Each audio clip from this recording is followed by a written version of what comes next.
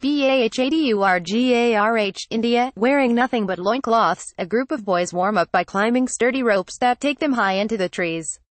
One teenager walks around the wrestling pit swirling incense, blessing the arena and preparing it for battle. This November evening, as the dusk thickens and the bugs venture out, a couple of dozen young devotees of Kushti, the ancient Indian style of wrestling, have gathered to face off. They range in age from 10 to 16.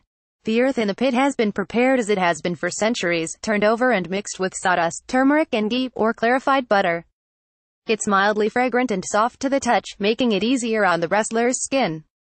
These devotees, or pehelwans, have made a commitment that extends beyond the hours they spend practicing each morning and evening. They live an ascetic lifestyle, eating specific foods like almond milkshakes and chapatis slathered with ghee. They don't eat meat and refrain from smoking, drinking and dating. The sport, thought to be 2,000 years old, is mentioned in ancient Hindu texts and depicted in temple carvings. Although women wrestlers have made strides recently in India, the vast majority of participants are men. But like many traditions in a country that's rapidly modernizing, Kushti wrestling faces the threat of being left behind. It remains popular in states like Haryana, where these Pahalwans are training. For many poor families, wrestling provides a glimmer of hope. Those who succeed can earn money, respect in their communities and even particular jobs. They're often employed by the police force or India's railways. 15-year-old Ankur Bharadwaj says it's his dream to win an Olympic medal, like his idol Sushil Kumar, who has won two Olympic medals for India in freestyle wrestling. Bharadwaj says he gets up at 4 a.m. and jogs to the wrestling pit before going to school. Hard work makes a man perfect, he says. That's why we are practicing so regularly. There are no breaks if you want to be a wrestler. Inside the pit, Bharadwaj and the other wrestlers rub their hands with the earth and toss it over their bodies. Under the full eye of their coach, they lock arms with their opponents, lunging for their legs as they try to flip them onto their backs and into submission. The boys aspire to be accepted into an akhada, a kind of wrestling hostel where they're given a bed and can devote themselves to the sport time if they choose. Akhadas come with shrines to the Hindu god Hanuman, who is seen as a kind of patron saint to the sport. At dawn at a small akhada in the suburbs of Delhi, a man circles the arena dragging a thick piece of wood to smooth the earth. Another crushes almonds with a large mortar and pestle. A poster on the gate advertises a local wrestling bout with a first place prize of about $3,000.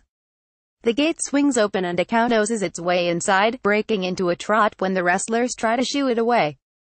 Coach Hemant Kumar, 35, says wrestling has always been his passion. Even before he started at age 10, he would get up before dawn and his father wrestle. The boys who take it up are saved from the nonsense of the streets, he says. But he worries about the sport's future in a country with a rapidly rising middle class. The rich kids, they don't want to do it, he says. Those people who don't have the money, they're interested. But they don't have the resources. Jay Prakash, a former Olympic wrestler who is president of the Delhi Amateur Wrestling Association, says it's getting more difficult to find the land needed to set up new akhadas.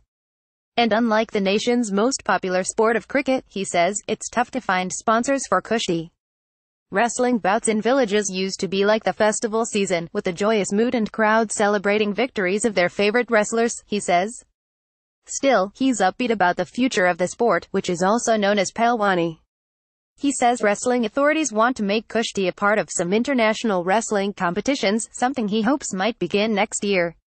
At the renowned Guru Hanuman Akhara in Delhi there are about 25 resident Pehelwans, most of them hulking men in their 20s and early 30s.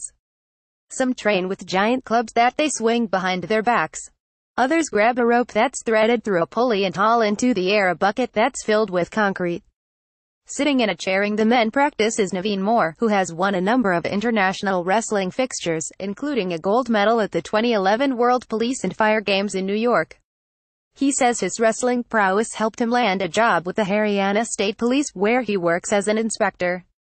Like many Indian wrestlers, Mor started in the pit and later became proficient wrestling on a mat, which provides the standard arena for most international bouts. He says his first love remains the pit where bouts can sometimes last an hour until somebody finally gives up. As he cuts back on competitions and does more coaching, Mor says he still follows the strict dietary rules of Kushti, although he is more relaxed about other rules and has recently gotten married. He says he doesn't regret dedicating his youth to the sport. No working, no shopping, he says with a grin. Only wrestling, wrestling, wrestling. My life is wrestling. I love wrestling. Underscore underscore underscore Associated Press writer Ashok Sharma in New Delhi contributed to this report.